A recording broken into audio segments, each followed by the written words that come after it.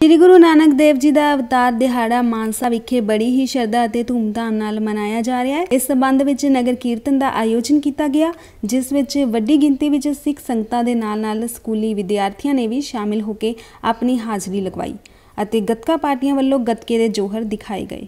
ਮਾਨਸਾ ਸ਼ਹਿਰ ਦੇ ਵਿੱਚ ਸ੍ਰੀ ਗੁਰੂ ਨਾਨਕ ਦੇਵ ਜੀ ਮਹਾਰਾਜ ਦਾ ਅਵਤਾਰ ਦਿਹਾੜਾ ਬੜੀ ਧੂਮਧਾਮ ਦੇ ਨਾਲ ਮਨਾਇਆ ਜਾ ਰਿਹਾ। ਅੱਜ ਦਾ ਇਹ ਨਗਰ ਕੀਰਤਨ ਇਸੇ ਹੀ ਗੁਰਪੁਰਬ ਨੂੰ ਸਮਰਪਿਤ ਹੈ, ਜਿੱਥੇ ਅਸੀਂ ਸ਼ਹਿਰ ਨਿਵਾਸੀਆਂ ਨੂੰ ਅੱਜ ਦੇ ਗੁਰਪੁਰਬ ਦੀ ਵਧਾਈ ਦਿੰਦੇ ਹਾਂ।